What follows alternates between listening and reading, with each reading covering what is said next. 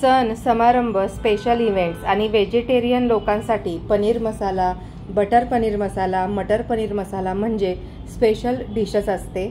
परंतु सारखे सारखे एकाच चवीचे पनीरची भाजी जर बनवली गेली तर ती खाण्याची मजाच निघून जाते. लास्ट टाईम मी तुमच्याबरोबर बटर पनीर मसाला कसा बनवायचा त्याची रेसिपी शेअर केलेली होती आणि आज मी रेस्टॉरंट स्टाईल झणझणीत आणि तर्रीदार मटर पनीर मसाला कसा बनवायचा आहे ते तुमच्याबरोबर शेअर करणार आहे. मटर पनीर बनवण्यासाठीची जी ग्रेव्ही असते ती सुरुवातीला आपण तयार करून घेणार आहोत. तर या ठिकाणी एक मोठा कांदा मी उभा आणि पातळ चिरून घेतलेला आहे.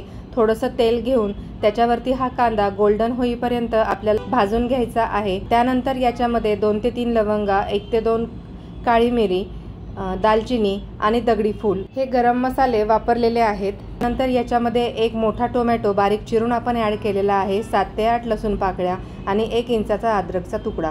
हे सगळे जे जिन्नस आहेत या तेलावरती आपण एक मिनिटभर छान परतून घेणार आहोत आणि यातील टोमॅटो थोडा शिजल्यानंतर याची बारीक अशी पेस्ट करून घेणार आहोत आणि अशा पद्धतीने मटर पनीर मसाल्याची ग्रेव्ही आपली इथं तयार झालेली आहे. या रेसिपीमध्ये मी काजूची पेस्ट ही ॲड केलेली नाही कारण रेडीमेड मटर पनीर मसाल्याचा वापर आपण या रेसिपीसाठी करणार आहोत. आता जे पनीर आणि मटार आहे ते आपण थोडंसं तेल घालून या तेलावरती छान परतून घेणार आहोत जेणेकरून पनीरचा सॉफ्टनेस जो असतो तो थोडा कमी होतो आणि मटारचा जो गोडपणा असतो तो देखील निघून जाण्यास मदत होते.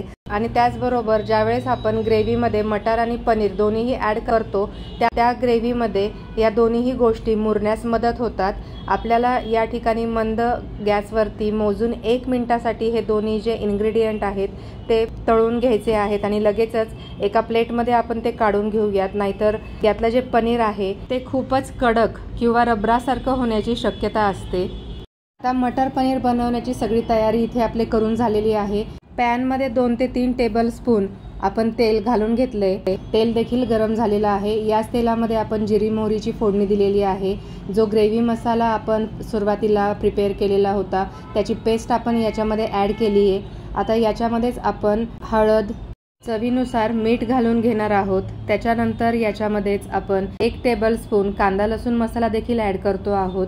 या ठिकाणी तिखटाचं प्रमाण तुमच्या आवडीनुसार तुम्ही कमी जास्त करू शकता. याच्यामध्ये आज आपण प्रकाश कंपनीचा कोल्हापुरी मटर पनीर मसाला वापरणार आहोत. आणि कोल्हापुरी म्हटलं की त्याचा जो झणझणीतपणा असतो तो या मसाल्यामध्ये ऑलरेडीच आहे.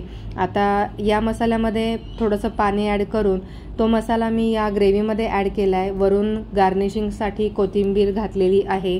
आणि हा जो मसाला आहे मंद आचेवरच दोन मिनटं छान परतून घेतल्यानंतर थोडंसं गरम पाणी याच्यामध्ये मी ॲड केलं आहे आणि ही ग्रेव्ही उकळल्यानंतर याच्यामध्येच मटर आणि पनीर आपण जे फ्राय करून घेतलेलं होतं ते ॲड केलेलं आहे. मटार पनीर मसाल्यामध्ये पाण्याचं प्रमाण हे देखील तुमच्या आवडीप्रमाणे तुम्ही कमी जास्त ठेवू शकता. परंतु आज आपण रेस्टॉरंट स्टाईल मटार पनीर मसाला हा पाहत आहोत. त्यामुळे ही ग्रेव्ही थोडी घट्टसर अशी मी ठेवलेली आहे. आता या पॅनवरती झाकण न झाकताच हे जे मटार आणि पनीर आहे हे आपण पाच मिनिट मंद आचेवरती शिजवून घेणार आहोत आणि अशा पद्धतीने रेस्टॉरंट स्टाईल आपली मटार पनीरची जी ग्रेव्ही आहे ती तयार झालेली आहे. तर माझी आजची रेसिपी तुम्हाला कशी वाटली कमेंटमध्ये मला नक्की कळवा. चला तर मग आता आपण भेटूयात नेक्स्ट व्हिडिओमध्ये. तोपर्यंत धन्यवाद.